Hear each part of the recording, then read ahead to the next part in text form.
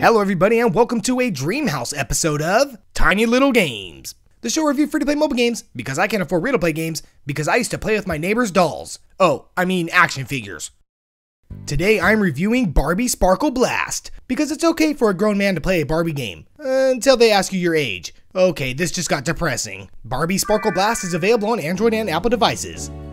First up, gameplay a gem swapping, outfit changing, power up blasting Barbie themed puzzler. It's your typical Candy Crush wannabe, but with all the pink glitter a Barbie can manage. The goal is to match color gems in a certain amount of moves, while Barbie watches on.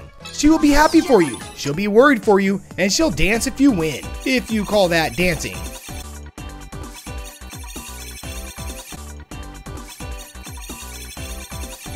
You can change outfits at your closet, and different items of clothing actually change the power of the gems. A unique way to implement clothes into gameplay. I chose this shirt because I too love pizza. I didn't realize Barbie and I had so much in common. There's your typical power-ups to help with a challenging game board. Some of these power-ups are helpful, while others are just, well, okay. As you progress, you actually notice a story here, and then the matching is about playing frisbee or taking your pup to the vet. A real diversity in gameplay. Honestly, I was surprised at how challenging the gameplay was in later levels. And well, I must admit, it's not a bad matching game as well. Altogether, you match gems while buying outfits and visiting your Barbie friends. Yeah! Next up, graphics.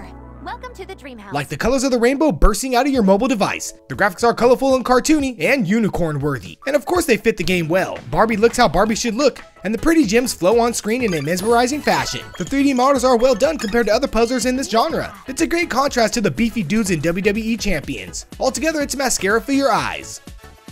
Finally, free playability. Like an all-day shopping trip, the in-app purchases aren't cheap. The game uses the classic stamina meter, just replaced with hearts. You use these to play levels and restart a failed level. You can purchase more or wait it out. Also, gems can be used to unlock presents that get you rare clothes. Wow, white shoes. It's a very familiar tactic, but easily overlooked by playing smart. Oh Barbie, you always were smarter than Ken. Altogether, it's your average in-app fare, and you can play through without spending real cash. Now, I rate my games on a three point scale. That's download it, give it a try, and waste of space. With a plus or minus to account for a gray area.